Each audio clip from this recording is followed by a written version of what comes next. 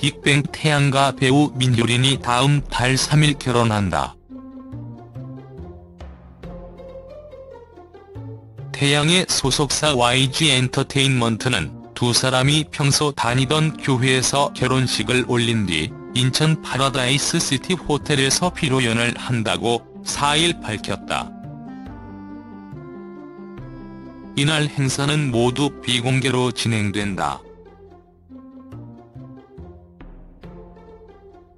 신혼여행은 바로 떠나지 않는다. 태양이 상반기 입대를 앞두고 있어서다.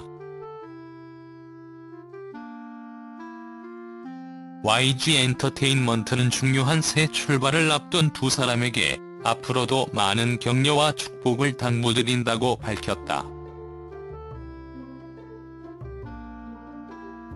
2014년부터 교제해온 두 사람은 2015년 6월 열애 사실을 공개하고 만남을 이어왔다.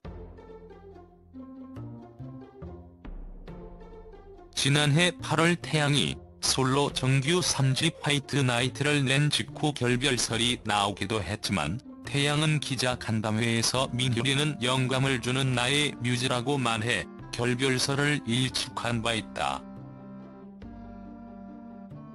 2006년 빅뱅으로 데뷔한 태양은 눈, 코, 입, 나만 바라봐, 웨딩드레스 등의 히트곡을 냈다. 민효린은 2006년 광고 모델로 데뷔해 영화 써니와 KBS 예능 언니들의 슬램덩크 등에 출연했다.